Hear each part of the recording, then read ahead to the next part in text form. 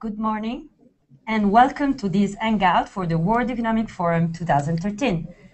I'm Cristiana Falcone from the World Economic Forum and I'm delighted to welcome you to this Hangout with the Chair of the Board of Directors of Transparency International, Huguette Labelle. Welcome, Huguette. Good morning. Also joining us from around the world, we have some of the World Economic Forum global shapers, young thinkers and entrepreneurs, and they're all under the age of uh, 30s. And we'll be taking questions from there. They're from all over the world. This is going to be exciting. Absolutely. Look what technology allows us to do. Great. Amazing. First, I want to ask you a question, Huguette. Um, Transparency International is described as one global movement with a vision of a world in which government, business, civil society, and the daily lives of people are free of corruption. Can you tell me more about this work, what you mean with that, and what you want to achieve, and also how this um, has an influence or an impact on what we're doing here in Davos? Absolutely.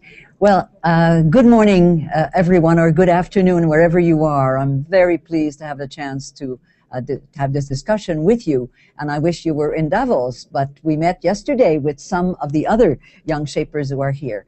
Um, to get to your question, uh, I think that it, it's evident today that wherever we look, uh, whatever you want to achieve, if you do not deal with corruption, uh, you will not get rid of the turbulence of our time.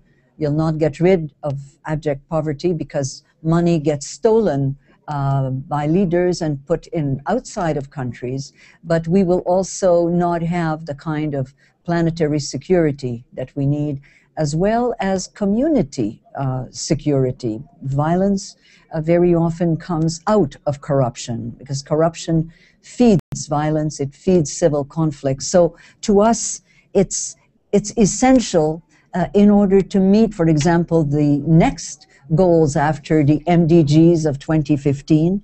It's vital in terms of ensuring that young people all have access to professional and technical education.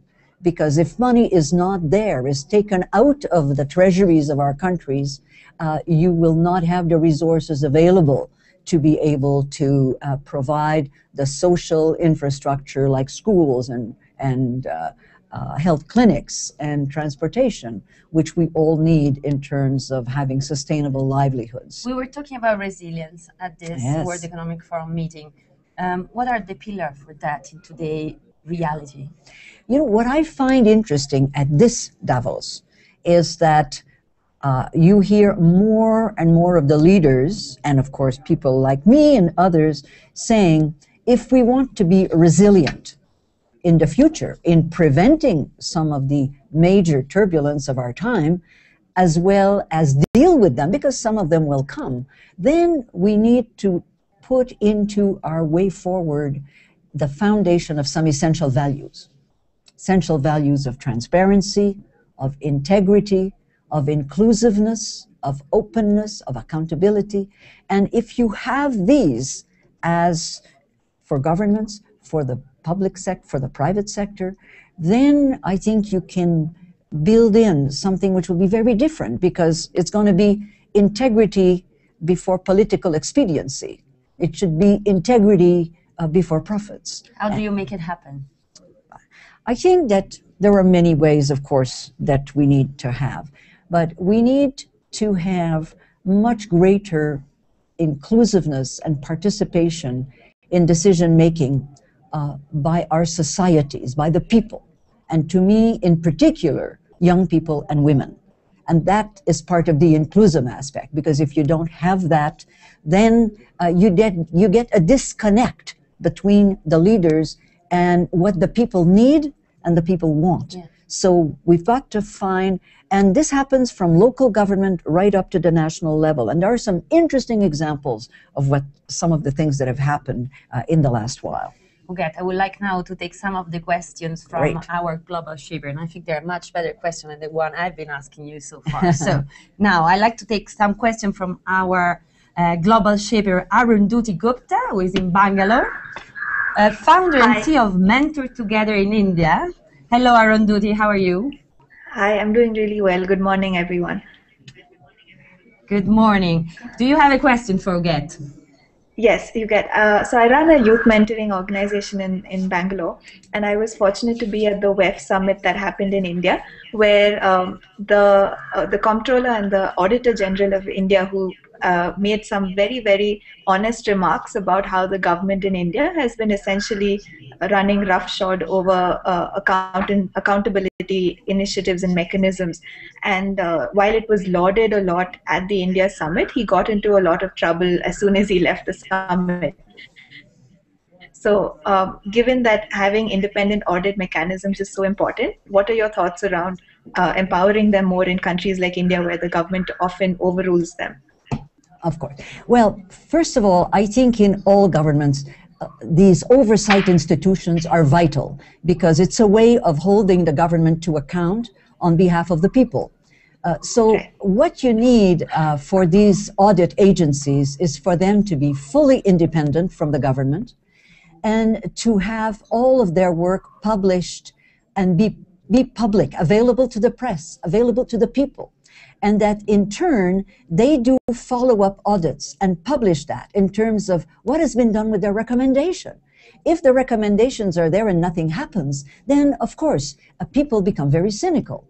So I think that this is a very important role, and where you have, for example, anti-corruption commissions, as you do in some countries, as well as auditors general, uh, then you have again another mechanism to try to uh, ensure that um, there is no impunity in the country. Did that answer your question? Yeah. So let's move from India to Ecuador. Hola, ah. Carolina. Okay, Carolina, I think Ecuador, it's, it's not morning there, okay. so maybe there is something. Okay.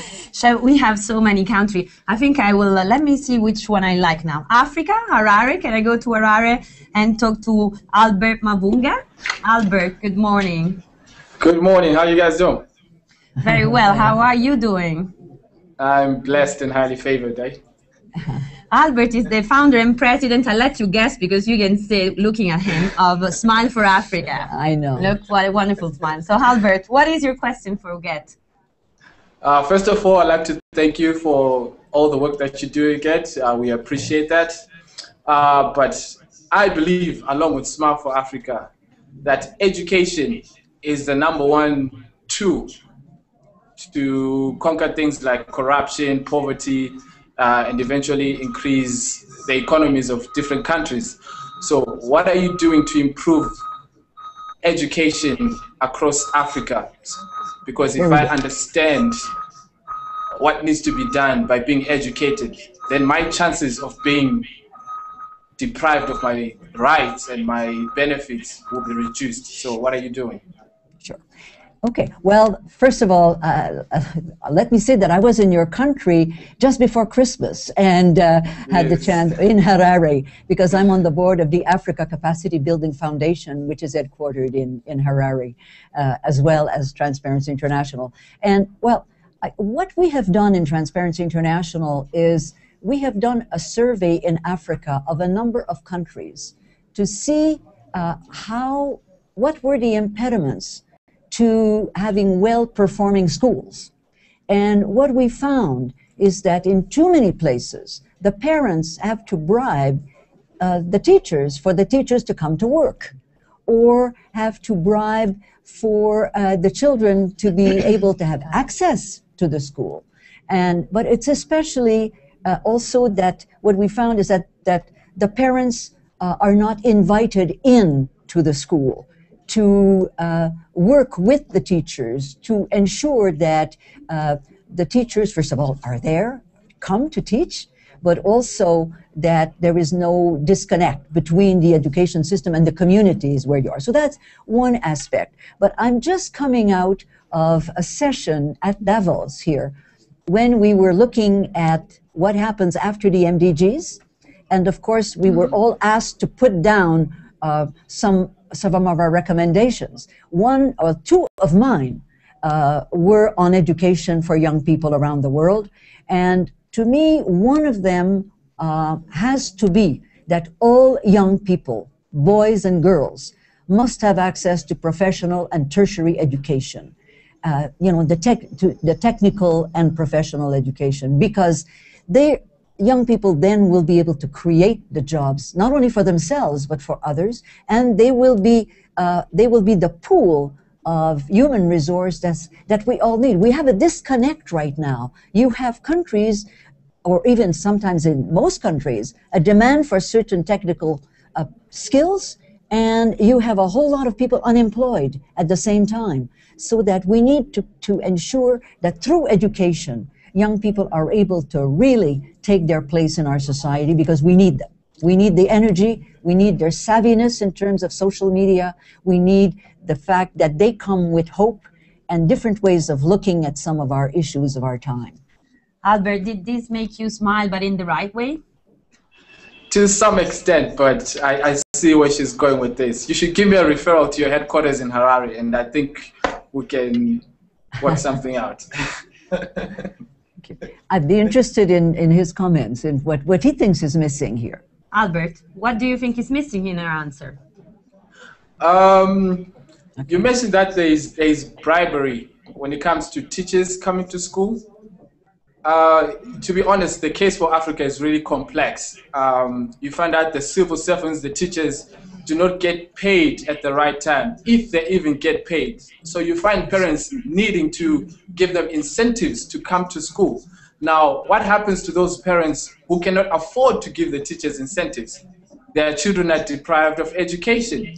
So if maybe some structure or some incentives could come from from those who have who can give aid to to pay teachers and uh, relieve the governments of their struggles of not affording to pay their own citizens. Maybe uh, we'll have an increase in enrollment, an increase in teachers attending schools.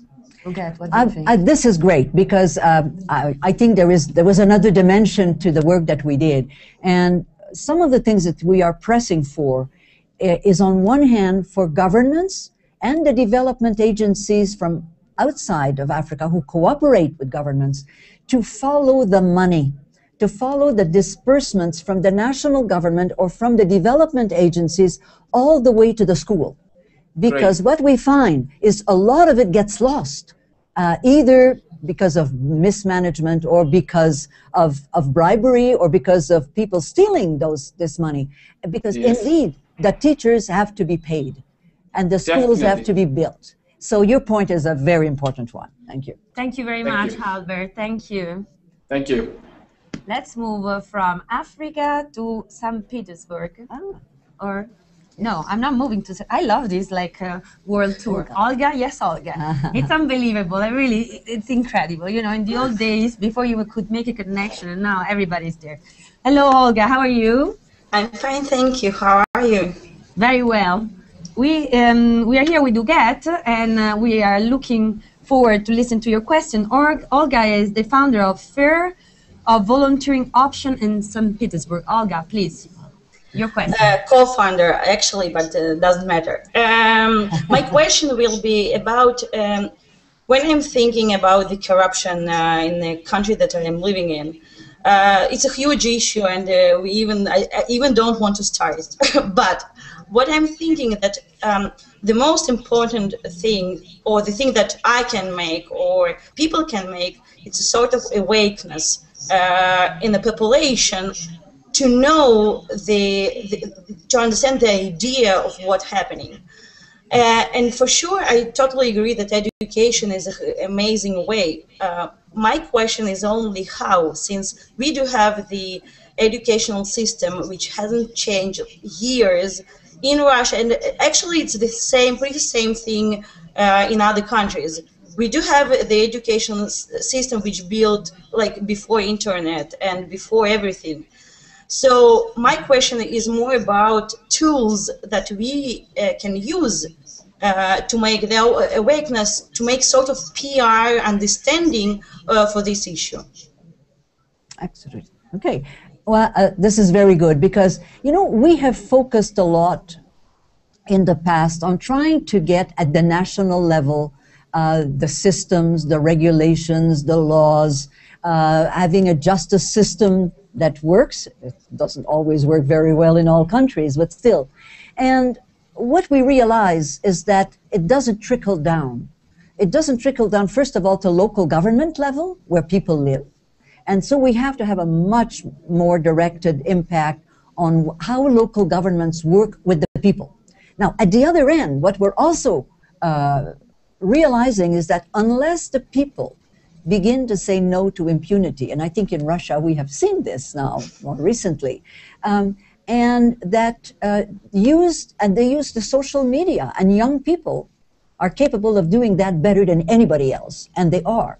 Um, you know, for example, we were talking earlier here about India, where there's a, a new movement uh, where uh, people who are asked to pay a bribe are reporting it, you know, putting it on the web uh, and saying, you know, I was asked to pay a bribe. So, for example, so I think that the use of social media to bring about a different kind of participation of the people in in pressing for those changes that you're talking about because you're right the education system was built before we had internet and we still have the old way of providing education which can be so different if one were to use the internet and what's available now. So my my response is always to say um, i think that people like you have already started to do something a number of young people have started their own social enterprise, uh, have, have, teamed up together uh, and gone sometimes to a local government and say, we want in. We don't want to be out anymore. Now, not easy to do, always sometimes impossible to get a reaction, but I would say, please do not despair because when, you know, I always say despair is worse than hope. And, uh, and I think that you can use social media in a very interesting way to try to bring about change and the kind of change you're talking about, which is vital. Olga, can you do it in your country or do you find barriers there? Uh, no, uh, I can do it. Like for now, I can do it. Um, the question is uh, what, where it's going. Uh, but my question more uh, that, you know, before, um, like social media, it's a tool for sure. Uh, but my question is that you know we can uh, talk theoretically about uh, uh, um, people who will come to the government, uh, but we need you know it's dialogue, so we need the government be ready that somebody will come. so, and th this dynamic in Russia very questionable. I would put it this of way. of course. I wish I'd listened to this question two days ago when we were with President Medvedev. Next time, Prime Minister. I, we, I wish that I had uh, the option to ask. Trust me. it was very interesting. Um, um, at that session uh, where the Prime Minister of Russia was, uh, there was a, a voting in the hall, and there were five questions. And, you know, there was one on the financial aspect, and a number of them were technical. But there was also one on dealing with corruption and governance. And something like 77% of the people, you know, said what needs to happen in Russia is to deal with governance and corruption, which is right up to your point here. But, this is very interesting because this were a few thousand people in this room um, just before the uh Prime Minister Medvedev spoke. So thank you very much, Olga, and thank you for all you are doing. Ah, thank you. Now I can go back to Europe, so we can uh, see whether there is a disparity at the regional level, whether corruption is only a problem affecting emerging economies, or whether in Europe we are dealing with the same things. And we are here with Take Cohen, who is um, a university lecturer and a lawyer at Baker and McKenzie. Cohen, over to you. Question Great. for Get. Hello, good morning. Thank you so much for being with us and for sharing your valuable insights. Um, I'm wondering, what do you see basically um, since its foundation about 20 years ago? Uh, Transparency International has already reached a, a lot uh, of its objectives, but what do you see as the main objectives going forward in 2013 and beyond for Transparency International? Very good. I think that our issues now are first uh, you know, enforcement of the laws and the regulations that are there. Because in many countries, the legal framework is present, but its enforcement is not there. Or the institutions for the enforcement are weak. Um, secondly, I think what we see also is, as we were saying just before uh, with Olga, that uh, we need to find much better ways of having people participate uh, in planning, uh, in in budgetary planning as well as program planning and oversight than we have had until now. We need new ways of doing that. And this is a way of holding governments to account. Okay? We, and we're also pressing much, now we're bringing industry and the private sector much more into the fold because to the extent that industries, especially the extractive industries, disclose what they pay to governments, disclose where their subsidiaries are located. Are they all in fiscal havens, evading taxes? Uh, and are they, you know, who are the owners? Are some of the subsidiaries become a way of laundering money, uh, which is stolen money from other parts of the world? So I think we, we are moving now more towards, first of all, local government level, which, which is the next frontier. Secondly, enforcement of laws, regulation, better systems, better funding. And thirdly, to reach out to the people directly. And we have started a campaign of reaching out to the people and working more with young people and the education system to build ethics back into, into the curriculum of the schools from kindergarten right up to postdoc. Cool. I have a, a question for you. In your practice and when you teach, how can you translate the message that we just hear from Huguette in uh, daily instruction or notion for your student, but also action where you practice your law? Well, I believe uh, especially the comment about the enforcement is very valuable. I believe we have very good uh, systems in place, but sometimes there is a lack of uh, enforcement, and that's what we really um, still try to, uh, yeah, should work on, basically, and that's also what I try to achieve. Great.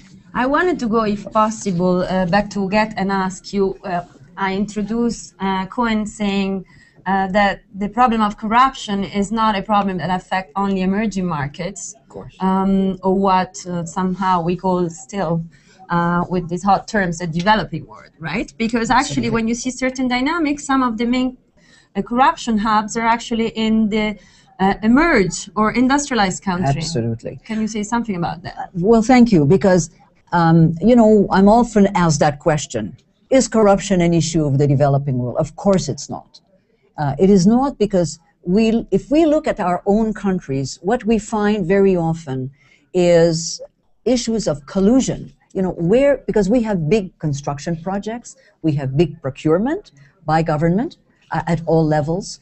And unless this is done there with much greater openness and transparency than it is today in most of our countries, then what you find is that there's collusion. There is still money being put under the table to get contracts.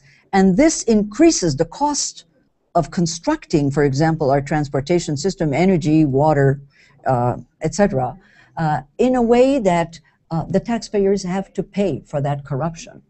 And the other part of our, our Western societies is that we still have too many of our companies who, when they do business in developing countries, uh, are more than ready to offer a bribe. Of course, some of them face extortion uh, and requests for bribes, and some of them walk away or say we're a zero tolerance. And what we're doing is working with those leaders of industry uh, who decided that a clean business is better business.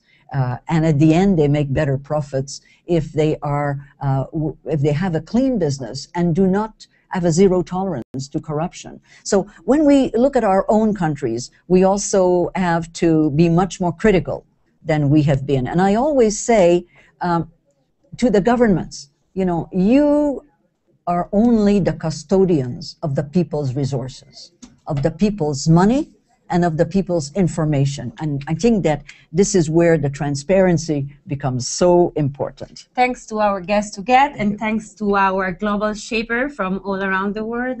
The, it was an honor. It was an honor moderating this debate because of this insight and also because all of you make the effort from your faraway places to connect with us and open up. And um, thanks to the studio here. This wasn't easy, but we made it happen. I'm Cristiana Falcone, and this was the World Economic Forum Hangout.